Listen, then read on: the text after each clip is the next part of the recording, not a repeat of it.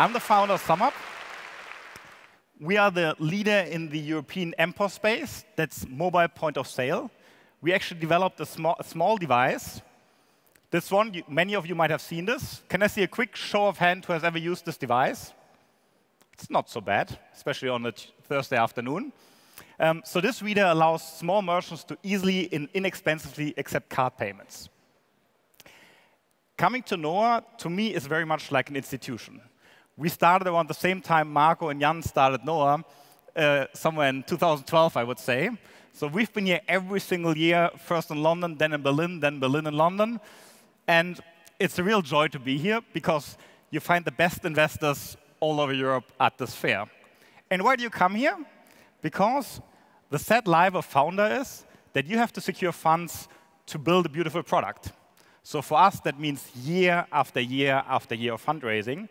So if I walk around Noah today, it's very much like a family reunion because I spoke to like half the crowd already over the last five years. And this year, I'm honored to stay here on, stand here on speech and introduce you to SumUp. And now I realize this is probably the worst year for this because we're not fundraising anymore. We actually broke even last year, and we're growing pretty well organically um, on that, on that uh, um, revenue, where we doubled in the last 12 months. So now, instead of running after investors, I can focus really on the business, which is, oh, great. We changed the slides around, which um, is global card, is card acceptance brand. So why do we want to establish a card acceptance brand? It's because if you look at the market we're in today, many people see the card reader, but what we really do in reality is we're doing card acceptance, just like the Adyen's, Stripes, and the other guys that have been, and uh, obviously Concardis with Marcus, that have been here on stage before me. But we do card acceptance at the physical point of sale. So if you look at the, at the map today of these card acceptance companies, it's a very fragmented market. Every single country has like 20, 30 acquirer PSPs, and they usually have two or three dominant ones. If you look at Germany, it's Concardis, BNP. If you go to the UK, it's Barclays. Obviously, Adyen is pretty big in the Netherlands, um, BNP in, in France. But all of these traditional players, they have one thing in common. They're really, really big. So each of these logos probably is worth a billion, uh, has a billion valuation. And they're very much focused on their own market. So they're, while they're like in the online space, you often see acquirers that cover 10, 20 markets. At the physical point of sale, usually these companies are in their home market, or if you do Germany, Austria, Switzerland, you're probably one of the more adventurous ones.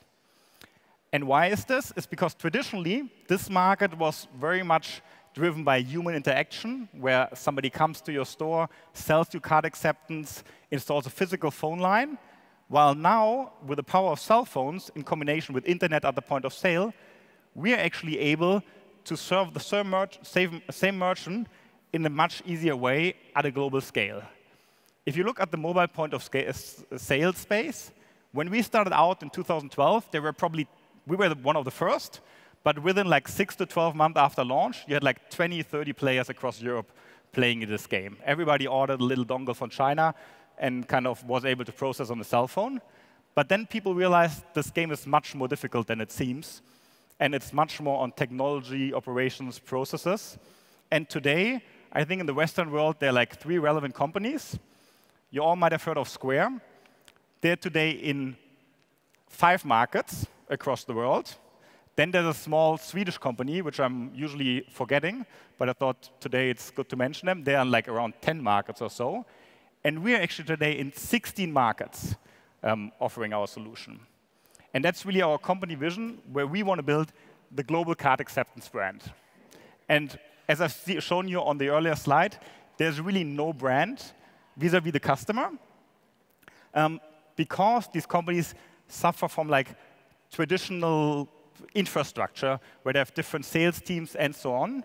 And also because so far, let's be honest, payment at the point of sale is a luxury product because it's like super expensive.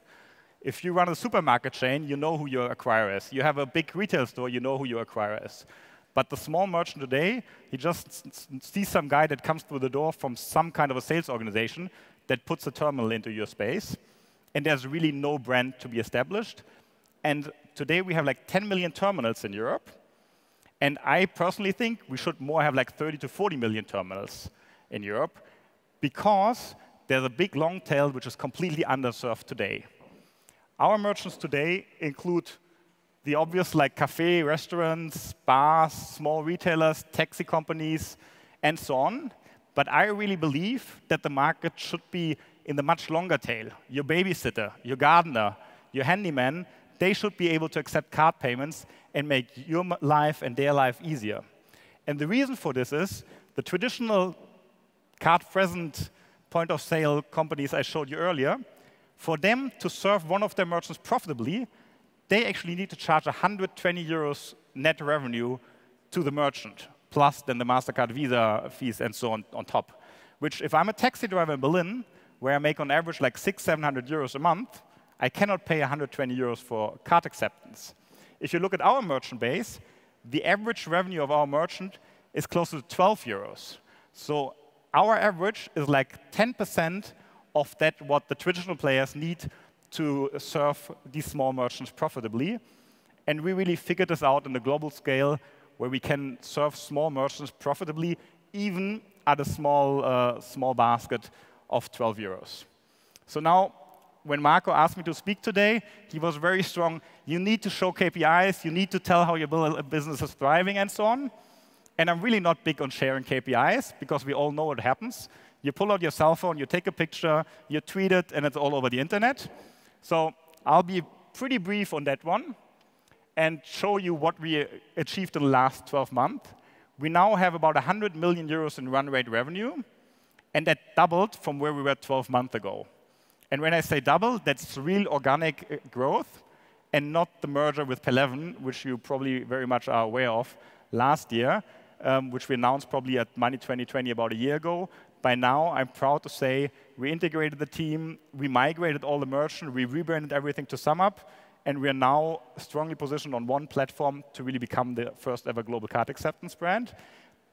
And in this process, we also broke even. So last year, double in revenue to 100 million, breaking even, and doing a pretty significant merger with a company that uh, was in a similar space to us. And on top of it, we actually launched two new countries. And these are not Luxembourg and Belgium, but we actually went to the United States because the United States is a magnetic stripe country. And with a switch to chip, there's quite some opportunity out there. And secondly, to Chile, where the Chilean central bank actually retained McKinsey to find the best solution across the world. And they had a long list of like 300 players, and in the end, selected us. I see a big zero zero um, flashing in front of me. So thank you very much for your attention. At the beginning, I said, I'm not looking to fundraise, and that's true. There's a low likelihood of anything happening in the next 12 to 24 months. But from my experience in fundraising, it's really good to build relationships early. So feel free to talk to me. Maybe we can do something together in 2019. Thank you very much.